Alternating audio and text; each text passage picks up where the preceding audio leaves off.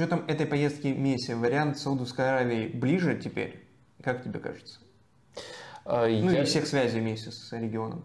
Я думаю, да, но при этом э, мне кажется, что пока Месси сам не решил. То есть у Месси есть э, вполне реалистичный вариант с Барселоной, и тут можно одной строкой заметить э, то, что из Барселоны ушел Матео Алимани, человек, который активно, активное участие принимал в э, трансферной политике, именно в финализации трансферов.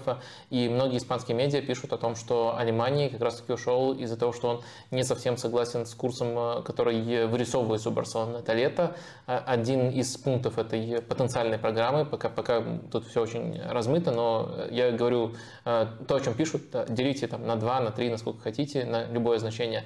Э, Один из пунктов этой программы – это возвращение Месси. Также, скорее всего, идет к тому, что с Серхио Бускетсом, э, другим ветераном, э, будет продлен контракт. Алимани, насколько я понимаю, был настроен в большей степени на построение уже новой команды, то есть команды, которая не будет в плену у великих имен прошлого.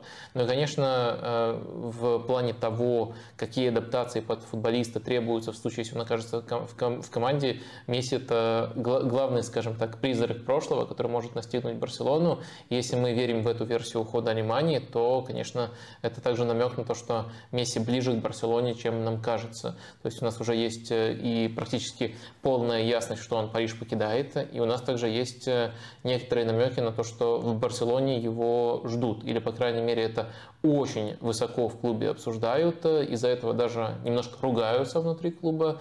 То есть это, это тот, тот эм, дым, без которого не бывает огня.